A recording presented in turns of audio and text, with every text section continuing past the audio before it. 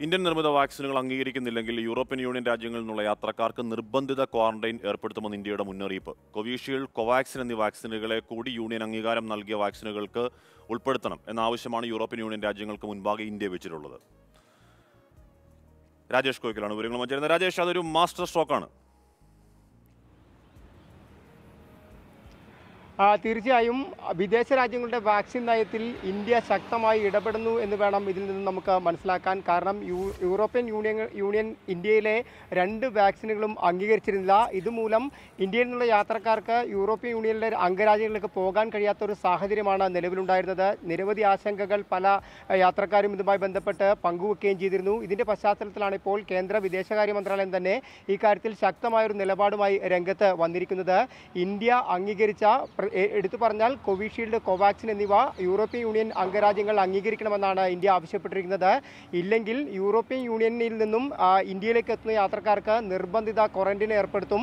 ഒപ്പം തന്നെ European union അംഗീകരിച്ച വാക്സിനുകൾക്ക് ഇന്ത്യയും അനുമതി നൽകില്ല എന്നൊരു കർശന നിലപാടിലേക്ക് ഇന്ത്യ മാറിയിരിക്കുന്നു. നിലവിൽ യൂറോപ്യൻ യൂണിയൻ അംഗീകരിച്ചിരിക്കുന്നത് ഫൈസർ മൊഡേണ ഒപ്പം തന്നെ ആസ്ട്രാസെനിക്കയുടെ ഓക്സ്ഫർഡ് കൂടാതെ ജോൺസൺ ആൻഡ് ജോൺസൺ എന്നീ വാക്സിനുകൾ മാത്രമാണ് നിലവിൽ യൂറോപ്യൻ യൂണിയൻ അംഗീകരിച്ചിരിക്കുന്നത്.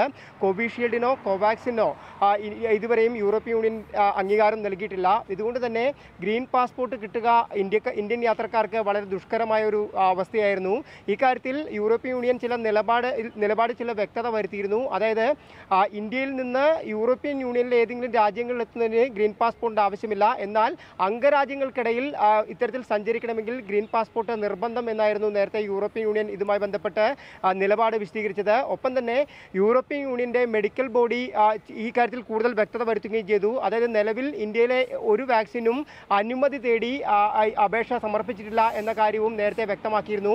എന്നാൽ ഇതെല്ലാം തള്ളിക്കൊണ്ടാണ് ഇന്ത്യൻ സർക്കാർ കൃത്യമായ നിലപാട് അല്ലെങ്കിൽ കൃത്യമായ ഒരു സന്ദേശം യൂറോപ്യൻ യൂണിയന് നൽകിയിരിക്കുന്നത്.